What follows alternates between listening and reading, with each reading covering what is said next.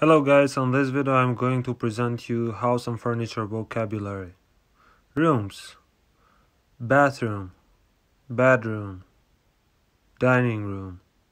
Hall. Kitchen. Living room. Parts of a house. Door. Downstairs. Floor.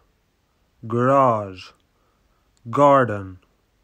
Upstairs wall, window, fittings, armchair, bed, bookcase, carpet, CD player, chair, chest of drawers, clock, computer, cupboard, curtains, desk, DVD player, lamp, mirror, plant, poster, shelf, sofa, table, television, wardrobe, waste paper basket.